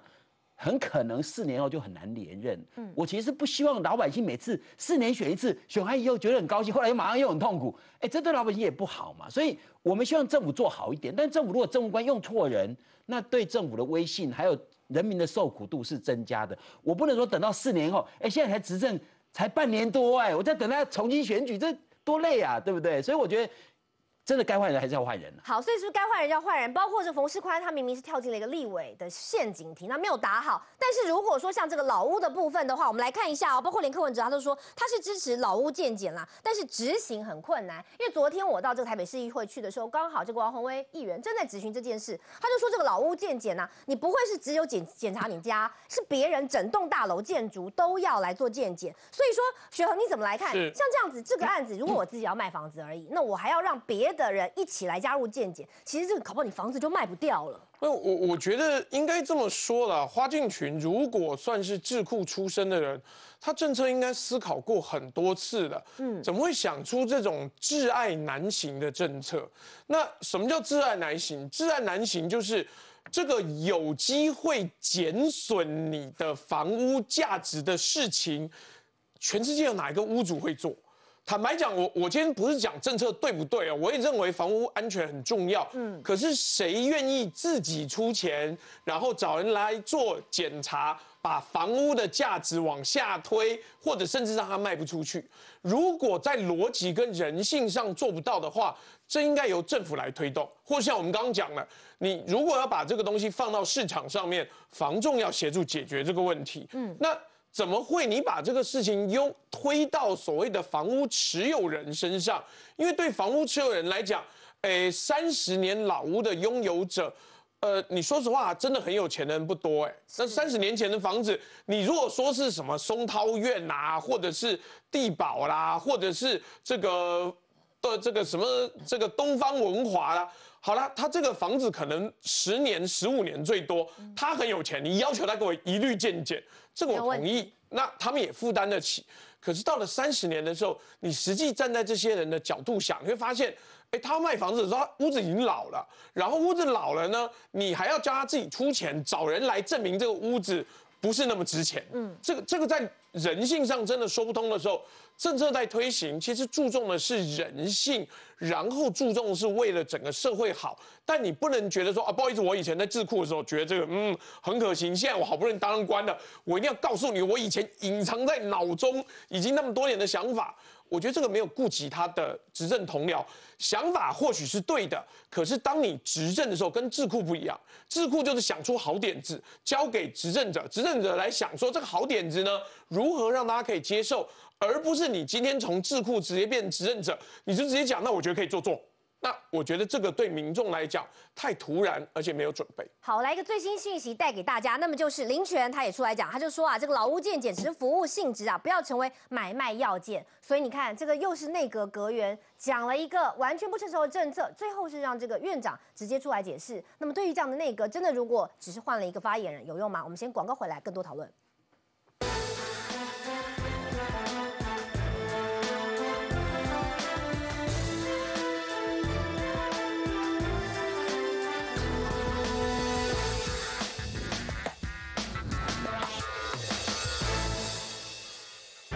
关心有关于放假的问题。那么台风假来的时候，是不是可以入法？让台风假入法呢？是不是现在又有政策的转弯？到底今天在立法院当中，我们的劳动部长郭芳玉怎么说？我们还连线给记者许贵雅。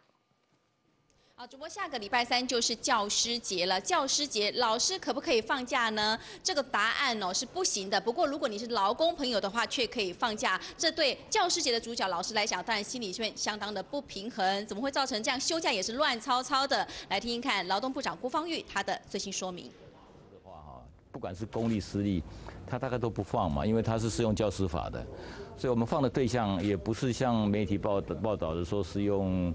是不是公劳保有劳保资格就放？不是这个意思啊，是看这个机关、这个机构，它是不是适用劳基法这个对象。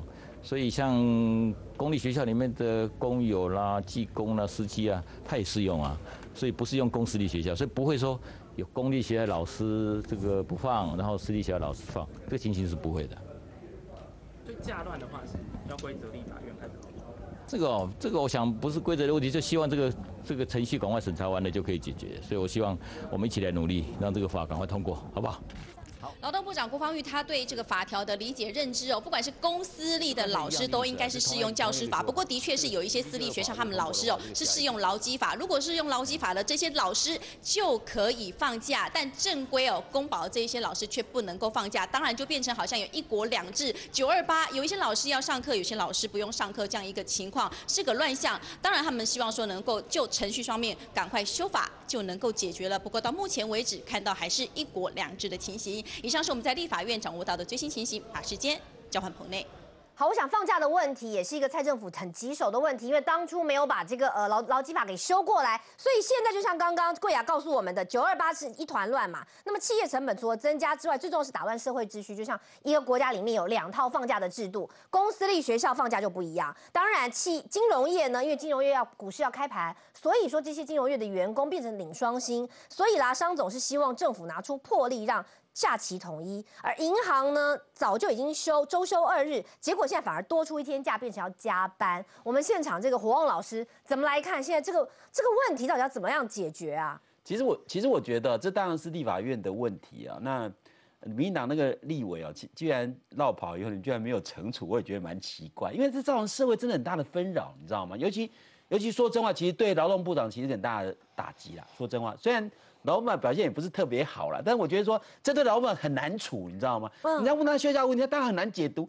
那真的说真话，如果按照这样的讲法，真的有些学校上课，有些学校不不上课，因为有些学校适用于劳基法嘛，对不对？嗯。所以他们就劳工嘛。那有些学校就不是嘛。那这也是蛮奇怪，就是说公立学校通常就是一般中学，可是私立学校也有一般中学啊。那他们变呃不用上课，那公立学校上课，所以我我觉得立法院还是要赶快解决了。嗯，这个郭部长虽然他做很多事情我不是很满意，但是我觉得对他来讲他也是有点无奈了，对不对？他当然希望的法律能统一，可是我觉得你们到保立委这个 为什么没有处罚呢？我觉得觉得奇怪。这个好像回来变成修法要赶快，不然十月马上来了呢。呃，七月假更多哦。对，就是说九二八，然后再来就是一零二五，再来是一零三一、一一一二。嗯，所以呃，一连在九月、十月、十一月就会遇到很多所谓的这个呃光辉的国定十月了呃，国定假日这个七天假的这个问题，然后其实过去为什么这个七天假？因为当时候并没有周休二日。那我们现在要求要周休二日，其实一开始劳动部在解释这所谓一例一休，就是解释的不清楚，所以我常会说，这个好的政策解释不清楚，就被大家误解，它就会。变成不好的政策，就像一例一休就是最典型的案例。其实一例一休它就是周休二日，它就是蔡英文总统在选举的时候一直讲的周休二日。那为什么要有例跟休？就是说，因为我们有很多劳工，基本上他还是必须要。有一些加班，他才能去维持家计。好，这是一点。第二就是说，我们有很多我们的一个呃企业或是雇主，他有些订单有呃短柜休柜，所以他必须有这样的一个调整。所以基本上我们有做了一个淡书，也就是说一加一点三三，也就是说，当他这一个立跟休用休来上班的时候，加班的时候是一加一点三三跟一加一点六六。那你如果上一一个小时或两个小时，还是以半天；如果上六个小时，还以以八个小时。就是说，我们完全顾全到劳工的一个因为权益。那重点问题来了，就是这些东西其实在之前炒一休的时候，我们都沟通过很多了。但现在问题是，劳动团体可以接受了吗？那么可以让你们修法顺利的吗？所以现在就是说，劳动部为什么呃，当时候行政院有稍微踩了刹车，就说你劳动部一定要去沟通，要把你过去没有讲清楚的跟劳工团体讲清楚。也就是说，这整个配套是怎么样的一个配套？怎么样让我们的呃企业主在未来他可以继续经营下去？否则，如果真的企业出走了，可能会面临的是大家的失业率。那我们劳工也可以维持到我们可以周休二日。那即使我们要加班。企业主也要负担很大的成本，嗯，所以在这样的沟通之下，让我们的劳动部要去解释清楚。所以为什么我们有一段的时间是稍微缓下来？也就是说，希望劳动部讲清楚，然后再来就是我们的取消国定国定假日这七天，嗯，也就是说，因为我们周休二日之后，我们整年的假期是增加的，所以这样子一一上一下之中，才会有所谓取消这国定假日七天。所以我觉得说这是整个配套，可是劳动部在当时我就把它切割讲，切割讲了。所有劳工就觉得没有感觉，到底这是什么样的政策？所以我们觉得说，现在缓下来一个但这个会政策期真的可以修得过吗？其实呃，我们希望啦，因为这个部分如果没有处理好，就会像现在一样，就悬在这里。所有的劳工也好，或是企业主也好，到底我该怎么做？不好像有对，好像就是说一有一国两制的状况，而且很多的企业基本上九月二十八号，他早就已经调整了，他为了要符合说。有些没有放假，学生没有放假这些问题，所以他可能有做了一些调整。所以基本上我们都认为说，要赶快去把这些纷争啊解决之后，这样才会安定下来。好，来，寇姐，我们怎么来看？包括现在一个最新的讯息是说，洗钱防治法是不是有漏洞？包括今天在立法院的时候，民进党的委员张宏禄都质疑说，这个洗钱法是管不到政府的官员。我们要讲的是说，现在其实很多的法律哦，民进党的委员或者相关有注意到的问题，是不是有办法有魄力，赶快把它执行？下去，包括这个休假的问题，包括像你说洗钱防治法的问题。我不是啊是啊，他讲的意思是说，洗钱防治法没有办法追究到政府官员的政治责任呢，还是哈他一起帮忙洗钱的责任？如果他一起帮忙洗钱，他就是洗钱的人嘛，那就是洗钱防治法的嫌犯呢。哎，这些民进党的委员，我先奉劝你们先把这个案子弄清楚吧，嗯，否则的话，我们的观众可以打电话到他们办公室去耶。二零一八年要改选呢，你们这些立委现在的表现要被我们监督哎，所以呢，一例一休到底问题出在哪里？陈廷飞委员是很厚道啊，关键不就在你们延长那个会期的时候，你们的林淑芬委员那天不来开会吗？我记得我还跟总招哎，这个柯总招在打电话的时候，他还跟我说，哎，我们呢这个延长会期啊，把那个司法院院长跟副院长人事案都不要了，要下个会期就是要过一例一休啊。结果嘞，啊自己的委员搞飞机啊，啊自己委员搞飞机。没有这个惩处，林淑芬委员是一个优秀的立委，在食安问题上面表现很好，所以背后就有很多阴谋论啊，说是踩刹车的会不会是总统府啊，怎样，对不对？到现在也没有厘清啊，所以这个问题是民进党他自己烧的火。那企业家生气也是应该的，我年初就知道要放多少天假，加班费是预算人事预算多少，你们现在给我突然突然多少，下个月还有哎，天哪！政府总应该道个歉吧。那个劳动部长讲那个话，也冰冰冷冷，按照劳动基准法讲这话，还需要你这个部长讲啊？这些家伙很奇怪，他们不知道，有的时候我们的嗯选民，不管他是资本家或是劳工，他需要是一个 emoji 耶。你们在处理这些事情的上面有没有用心啊？我碰到好多资方的老板都跟我跳脚哎，我觉得他们生气的是。你们到底在干嘛？现在你九二八本来以为九二八就算了，现在变成十月到十一月还有好几天呢。那你们有没有一个配套的对话的管道呢？这些是政府的错呀。哎，真是。我我倒觉得说，其实郭部长一开始解释当然没有解释的很好。可是刚刚陈林飞委员讲，我不是很接受的原因在于说，其实民进党在主主导推动一例一休这个立法委员，其实都很清楚，他们都清楚一定要让他过。那如果不是闹跑就过了行政立法协调会那个林淑芬也在场，然后讲的对，林淑芬也没被惩罚。昨天那个前天吧，总咨询的时候还凶的要死，哎，不是很凶吗？我是觉得说，我常常讲说，其实国家利益第一。政党第二，个人第三。如果林淑芬委员是为了他自己的选票，那他可以安排嘛？你就可以说，劳工，反正这事情我虽然是召集人，可是我退出，让别人能够来做，那一样是过，因为这是党的党的旨意嘛。可是让个人的意愿使得整个党这样拖垮，我觉得是不应该了。不管他多优秀的立法委员，这个做法都不对。党有党纪啊，所以说对于民党来说，赶快如何让这个所谓全国的休假统一，恐怕是一个必须要当机立断，要好好处理。先休息一下，广告回来更多讨论。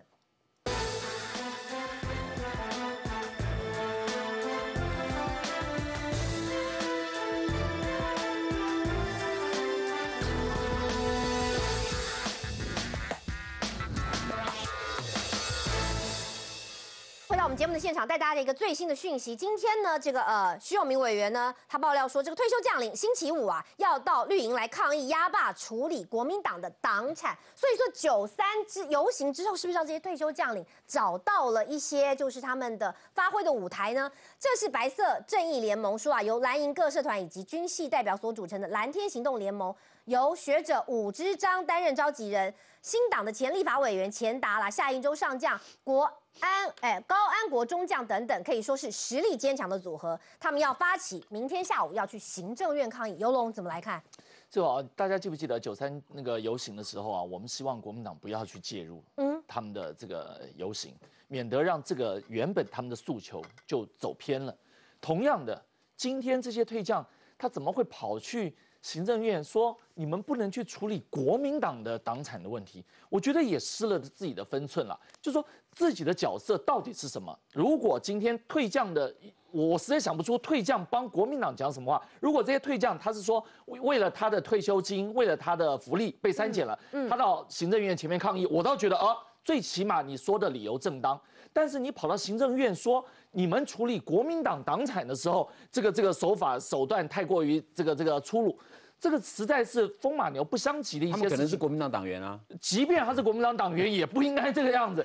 因为国民党这一次在处理党产问题的时候，我倒觉得，我我一直想跟国民党说一件事情，就是国民党啊，一直自诩自己是一个比较守法、比较呃这中华民国安定的一股比较大的力量。那为什么在这一次处理党产的时候，会用很多不合不合法的手段，呃，逃避法律这个追诉的这种手段，然后来来来去抵抗？嗯，我觉得这一点让我们这些来英的人有一点点失望，你知道吗？在法严法，今天如果这个是恶法，他恶恶法异法，他已经通过了。昨天黄老师在现场也这样讲。我我我真的觉得国民党如果真的开大门走大路，你应该好好的去处理这个问题。我同意，但是不是用这种玩法弄法的方式，在哎我弄十张支票，我在哪一天那个这个这个呃还没公布之前，我就可以玩。我觉得这个这个确实对国民党是一个很大的形象上的伤害。那现在这些退将又出来了，帮国民党讲党产。我觉得真的荒唐至极，然后不会有加分的情况，只会大家会把退将。跟国民党、跟不当党产全部连接在一起，嗯，这对于这些退将、对于这些军工教想要争取他们的福利是有帮助的吗？我真的怀疑。好，来，这个学员怎么来看？昨天其实黄老师在我们现场也说啊，有关于党产这一波的操作，包括洪秀柱主席讲说，如果说硬要让我们连薪水都发不出来，我就去包围蔡英文，我们蔡英文家门口见。像这些政治操作，呃，黄老师认为说，这其实只是为了他自己个人要接下来选党主席。因为我觉得这些人在抗议的时候要确认自己的身份呢，你到底是中华民国的退休将领，还是国民党党员？如果你是退休将领的话，我坦白讲，国民党党产干你什么事？嗯，那你去抗议到底干什么？你怎么样？你路人嘛，路见不平，我拔刀相助，我好好可怖哦！我要替国民党出气，也不是嘛。那如果你今天是国民党的党员，而且是现任党员。不发党产会影响到你的权益的话，你去抗争是你的言论自由。嗯，但你说你是退将，结果你去抗议的是国民党党产的时候，请问现在军队不是已经国家化了吗？难道你是国民党以前在编成佣兵部队的时候佣兵吗？否则你干嘛要替国民党党产生气？嗯，你可以说我对顾立雄的做法有没有依法执行，你觉得不满？但你要去抗议，就表示你是利益相关呐。可是在这个案子里面，退将到底跟国民党党产有什么利益相关？如果你解释不清楚，那这个抗议活动自始至终它就是一个逻辑不清楚的抗议。我觉得大家不要太担心呐。那但另外一个，这代表我们退将身体还蛮不错的，可以这么长上街抗议，表示我国很照顾他们。好，来我们来看一下明天的口号会是呃抗议民进党政府清算国民党党产，然后是孤立雄不要脸，蔡英文不要脸，然后不要脸，然后国民党呢党产都在，民进党党产呢都 A 回家。好，这个就已经是完全不理性的感觉了，黄老师。其实我是觉得说，我们从事抗争哦，一定要知道，你抗争如果能够累积能量，一定是因为你抗争得到人民的支持，嗯，或者至少是很多人觉得说，哦，你这抗争有道理。所以如果你抗争的诉求如果能够理直气壮，或者即使不是理直气壮，至少你是觉得人家觉得哎，某一部分人会觉得说真的很有道理，有说服力。所以为什么常常讲说，其实如果民进党的这个这是立立法，如果这立法真的是过于苛刻，嗯，过于苛刻，不见得对国民党是一件害处，你知道吗？因为国民党可以利用国民党执行的过度苛刻，去诉诸人民说，你看这就是抄家灭祖嘛。抄家灭祖不是喊口号，你要举出具体的事实，说这样做太过了。当你人民台湾人民其实还蛮善良，你知道吗？如果你被欺负太过了。选票就会转过来，是，所以我说抗争不是没有问题，抗争是可以有可以抗争，但如果抗争没有道理，你抗争的势会越来越弱。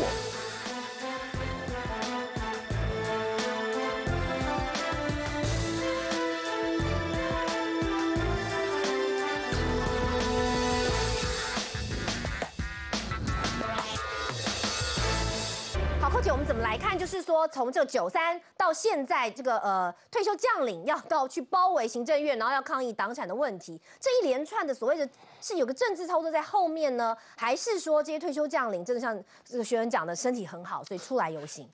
他们应该身体是蛮好的，可是我觉得。他们可能还是意识形态上对民进党政府的不满呢，其实这些人有高度的优越感啊。这国民党里面有非常多资深的人，觉得民党什么嘛，哪里来一个台独小党？那个游击队出身，你凭什么？你蔡英文何德何能啊？那个黄秀柱不是还说过他这个什么什么德不配什么东西吗？德不配位啊，德不配位，就瞧不起人家。那你就上街就上街吧，你们民进党为这种事情，呃，国民党为这种事情上街，只会降低自己的形象啊。国民党其实是偷鸡不着蚀把米，他不要去开那个支票被人家抓到啊，这个脱产。其实大部分人还是会希望留国民党一条生路嘛，至少党工要照顾啊。是，可是你这个又偷偷开开支票，然后又去脱产，在日本卖什么东西的，讲那些狠话有什么用呢？不过我也祝福这些。呃，将领们，他们啊，这个呃，如果是去打小白球啊，啊，去这个呃大陆喝酒啊，呃，国共一家亲啊，还蛮麻烦的。到来那边摇摇旗还可以啦。呃，其实我们都觉得说，你要抗议，你一定要有主题，你要有内涵。如果今天没有的话，真的就像说。